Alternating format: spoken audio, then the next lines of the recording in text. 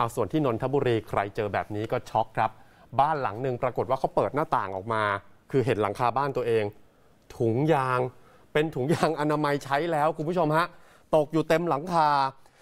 ก็โพสต์ข้อความนะฮะพร้อมกับภาพประกอบแบบนี้ฮะแล้วก็บอกสอบถามหน่อยได้ไหมคะ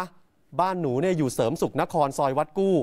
มีคนโยนถุงยางใช้แล้วมาที่หน้าต่างบ้านหนู หนูเปิดหน้าต่างมาเจอแบบนี้หนูควรจะทำยังไง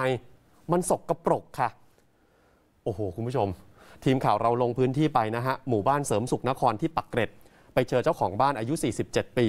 เจ้าของบ้านบอกว่า คือใน 2 อาทิตย์เนี่ยเจอแล้ว 3 ชิ้น มันลักษณะคือมันตกลงบนเนี่ยหลังคาบ้านแล้วก็ตกลงมาในรางน้ำบางทีมันหล่นออกมาเนี่ยคุณผู้ชมฮะมาอยู่ในห้องครัวเลยอะ่ะโอ้โหในสภาพถุงยางใช้แล้ว โมโหมากที่บ้านมีเด็กเล็กมีผู้หลักผู้ใหญ่กลัวจะเป็นเชื้อโรคครับ แล้วฝนมันตก แล้วพอเอิญว่ามายืนเช็ดล้างเหมือนทำความสะอาดแล้วมันมีคอนดอมอะค่ะ มีถุงยางอะหล่นมาตรงนี้อะค่ะ แต่พอเอิญว่าไม่ได้ไปจับอะไรแล้วมันเหมือนมันไหลทิ้งไปเลย ก็ไม่ได้ไม่ได้คิดอะไรแต่คือว่าเอ๊ะมันมาจากไหน แล้วก็ผ่านไปอาทิตย์หนึ่งตอนนี้อยู่บนหลังคาห้องครัวตรงชั้นสองอะค่ะอ่าลูกสาวเห็นอะตอนช่วงบ่ายๆหน่อยใช่ไหมคะช่วงบ่ายๆมีอันหนึงก็เลยเอ้ยมันมา จากไหนแล้วมันมันมีเลือดติดด้วยนะคะ มีน้ำมีอะไรแบบว่ามันก็จะตกเย็นลูกสาวคนนี้เพิ่งมาเขาก็เลยบอกไหนขอดูหน่อยพ่อแม่มีสองอันอ้าวอีกอันมาทีนี้แบบกำลังโชคเลยกำลังเหมือนแบบว่าสดๆนะรับไม่ได้อะค่ะ ถึงมันไม่ใช่ของที่มันจะต้องมาทิ้งแบบนี้โหจิตใต้สำนึกไม่มีเลยเหรอ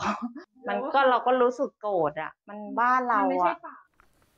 คำถามคือมันมาจากไหนค่ะทีนี้เจ้าของบ้านเขาบอกว่า ฝั่งซ้ายก็เป็นบ้านที่มีแต่คุณผู้หญิงอยู่อืมฝั่งขวาก็เป็นบ้านร้างอืมก็เลยสันนิษฐานว่าเอ๊ะมันจะมาจากทางด้านหลังบ้านหรือเปล่าซึ่งเป็นหมู่บ้านสร้างใหม่ เพิ่งจะสร้างมาเมื่อ 3 ปีที่ผ่านมานี้เอง ยังไม่รู้จริง ๆ ว่ามันมาจากไหนนี่กำลังจะให้เจ้าหน้าที่ตำรวจ เข้ามาตรวจสอบ แล้วก็ติดต่อไปที่นิติหมู่บ้านให้เขาเข้ามาดู ฝากไปถึงคนที่ทำอย่างนี้มีจิตสำนึกหน่อย โยนมาได้อย่างไรตกที่พื้นหน้าบ้านก็แย่แล้วนี่ไปอยู่บนหลังคาอยู่บนหัวเขาอะค่ะแล้วบางทีมันตกลงมาในห้องครัวเขาอะฮะห้องทำอาหารเขาอะฮะ